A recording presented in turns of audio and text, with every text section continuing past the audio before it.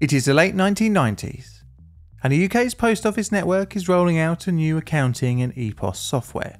It had come from an earlier project that aimed at improving efficiency in the way that unemployment and benefit payments are made. This was in an effort to stop some £150 million in fraudulent benefit claims per year. After a number of years of overspend and overrunning schedules, the new software has been scaled back to working as a transaction and accounting software solution. What each post office and sub post office isn't aware of is that the software is buggy and unreliable. So much so that it will result in millions of pounds magically becoming unaccounted for, which will result in ruin and conviction of hundreds of post office workers arguably becoming one of the worst software glitches in history. Not only would it cost livelihoods and freedom, but in some tragic cases, even lives. Today, we're going to be looking at the Post Office Horizon software scandal. My name is John, and welcome to Plainly Difficult.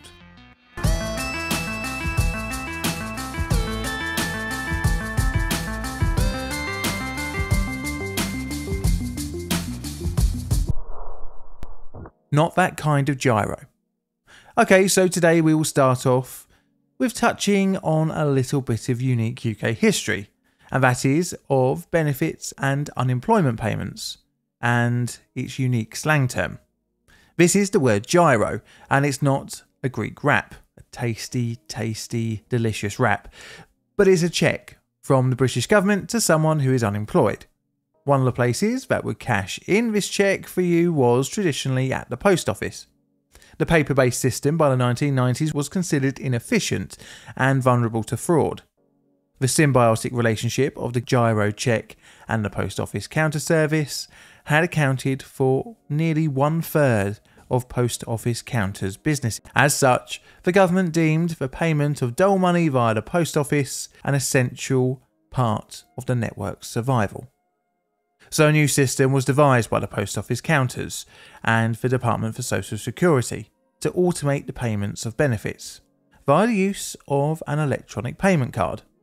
This would still make use of the counter service at post offices. So, to cut a long story short, the DSS and Post Office put out to tender the demands for a new software, and five companies were shortlisted BT, Syntegra, Cardlink, EDS, IBM, and Pathway, the latter of which was a subsidiary of International Computers Limited, a company owned by Fujitsu. The winning company was Pathway, and after many years of troubled development, the software was behind schedule by 1998. During testing, errors were being detected, but development continued, and the project just went out of control. The result was in May 1999 the cancellation of the benefits cards payment system, instead leaving a point of sale system devoid of the original plan of sorting out giros. And no, it is not that really, really tasty food. However, although scaled back, issues with software, now named Horizon, kept on popping up during testing. For example, issues with communication with the point of sale side of Horizon and the transaction information processing system used by the post office were reported. During its initial rollout, numerous complaints from post offices to post office counters support services came in explaining that their weekly balance was different to their sales amount. A lot of this was chalked up to improper training from Horizon support officers and post office staff. ICL Pathway would be forced to agree to correct some of these issues in late 1999. However, the software continued to be rolled out in its buggy state over the next few years to over 13,000 branches by 2001. But the issues with the software were well known within ICL Pathway and Fujitsu. However, they just wanted that sweet, sweet money that completing the rollout would bring in. Reportedly, over £1 billion to install. Quickly, I should explain how the post office branch counters network was operated. So, if you walk into a post office, there's a 90% chance that it's being run by a private company, usually a self employed sole trader. You see, many are set up as newsagents, with the post office element added on. This system makes the owner operators of the post office counters a sub postmaster. They aren't directly employed by the post office and thus don't have employment contracts. Instead, they have a contract to operate the post office on the company's behalf. This meant that in many cases, these people had invested all of their money into their business, and any shortfalls in reported earnings to actual earnings would have to be covered by the shop owners themselves. However, they had no choice in which software they could use, and we were a bit of a captive customer, kind of a bit like how a franchise restaurant works. Bearing that in mind, if your point of sale software is defective in reporting correct numbers, who do you think is left holding the bag? Well, you guessed correctly the sub postmaster. So, as part of the rollout, training was to be provided by ICL Pathway. It would later come out that it wasn't the best training, which is hardly a surprise. So, just on the accounting side of Horizon, such as accounts balancing, the course lasted one and a half days for managers, and just one day for counter staff, this wasn't enough, especially for many sub postmasters, as this was the first computer system they'd ever used. For context, it was thought that in the 1990s, as said in the official Horizon Inquiry, in 1998, it was estimated that only 31 to 33% of UK adults had a personal computer at home.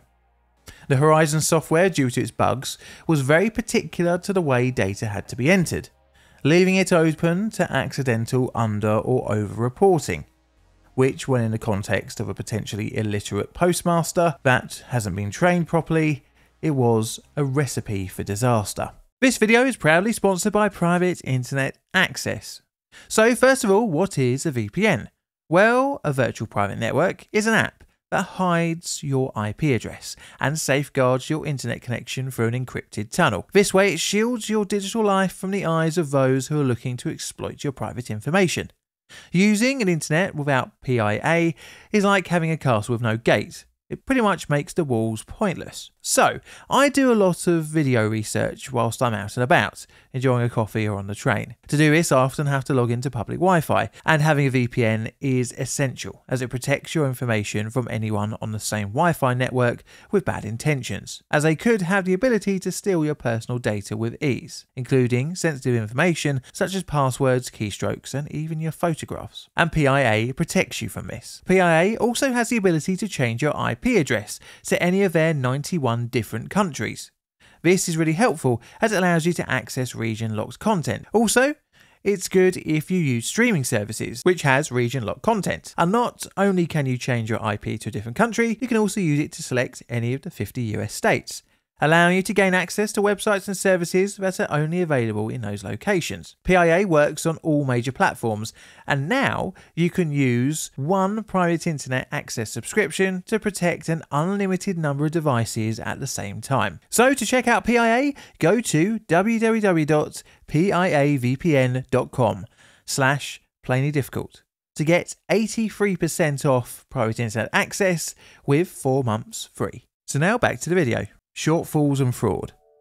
So, almost as soon as the software was running, complaints came in to the post office helpline. Many shortfalls were being reported. For many sub postmasters, this was the first time they had ever experienced this in their careers. And this all happened within just a few weeks of Horizon being installed. The post office in each case of shortfall that the complaining sub postmaster that it was their fault, and they would need to cover any loss personally. Convinced that the new software was uncovering vast amounts of fraud, the post office would keep applying pressure on their sub postmasters. For some, only a few hundred quid was short, but others, shortfalls of thousands were experienced. Eventually, the contracts of some sub postmasters were terminated, dumping a massive bill and no way to make the money back. But this was just the tip of the scandalous iceberg. You see, having a shortfall on a company's account that can't be well accounted for opens up the risk of an accusation of fraud, false accounting, and ultimately theft. All of which could get you in front of a judge on a criminal charge. And that is exactly what would happen. For the most unlucky in the scandal, court conviction and prison awaited. Over a 16 year period, an estimated 900 prosecutions were brought against post office staff and sub postmasters. 700 of which were privately prosecuted by the post office itself, which led to hundreds of criminal convictions for theft and fraud. During many criminal cases, evidence was used directly from the Horizon software, and it was just taken as gospel. Some were even bullied into entering a guilty plea at court to avoid prison time. So, hundreds got criminal convictions, which ruined careers, families, pride, and freedom.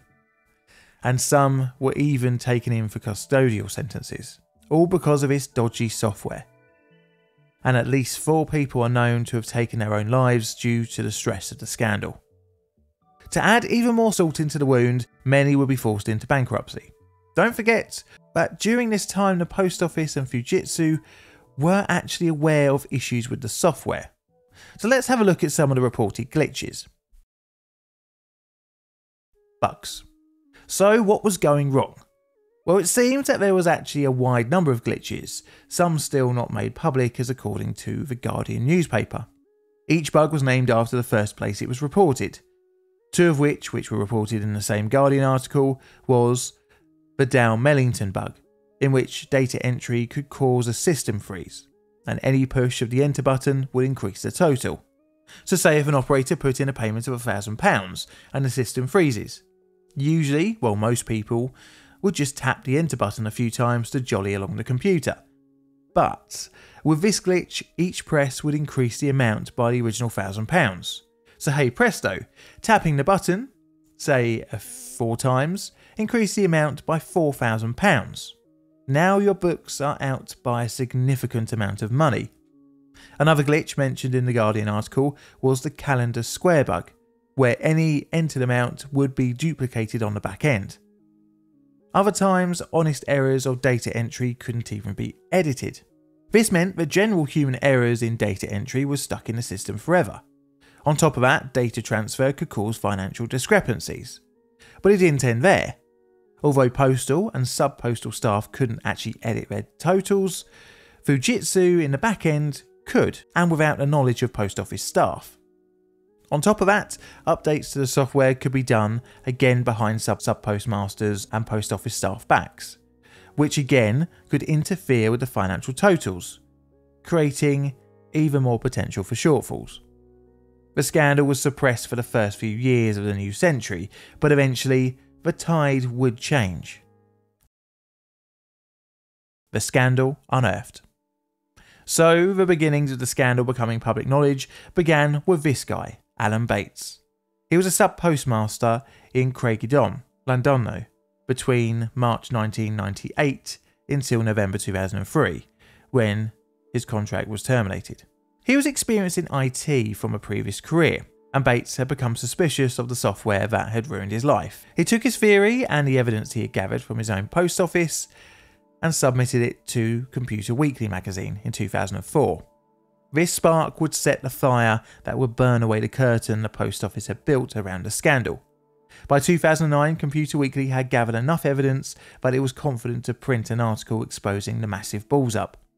Eventually, Horizon was legally declared unreliable in Bates and others versus the Post Office Limited in 2018, of which 550 sub postmasters and other staff were involved as claimants against the Post Office Limited.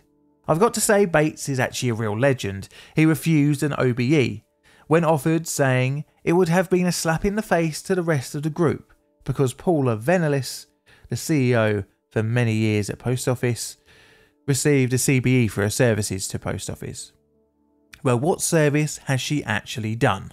So, making things right has been a long journey that is still ongoing. Numerous cases and appeals were brought over the following years, including R v Christopher Trousdale and others of December 2020, Hamilton and others and Post Office Limited in April 2021, and Felsted and others and Post Office Limited in April 2021 in which convictions were thankfully quashed upon appeal. But many more convictions are still on people's criminal records, especially on cases where a guilty plea was entered. Compensation has been offered, but in my opinion, it is nowhere near what is needed.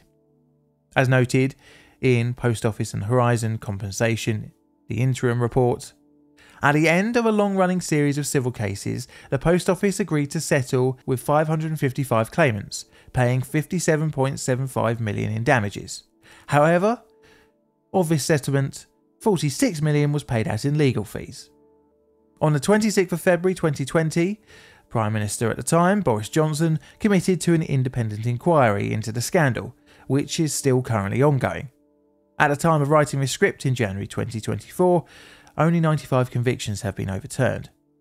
Sadly, no one at the post office responsible for the software rollout and bullying of sub postmasters have been criminally charged themselves. At least yet. So this story is still ongoing, so watch this space. If you'd like to read more in depth summary of the scandal, look into the official inquiry website, the Brilliant Computer Weekly article, or the Private Eye special report. So, scale time. It's going to have to be a 4 or a 5 because there was a human cost in lives as well as just livelihoods. And this is what I've got on the bingo card. Do you agree? Let me know in the comments below. I'd like to say thank you to PIA for sponsoring this video. This is a Plain Difficult production. All videos on the channel are Creative Commons Attribution Share Alike licensed. Plain Difficult videos produced by me, John, in the currently wet and windy corner of southern London, UK. I have Patreon and YouTube members, so thank you very much for your financial support, and also the rest of you for tuning in every week. I have Instagram, a second YouTube channel, and Twitter or X. So check that out for other odds and sods and bits and pieces that I'm getting up to. And all that's left to say is thank you for watching, and Mr. Music, play us out please.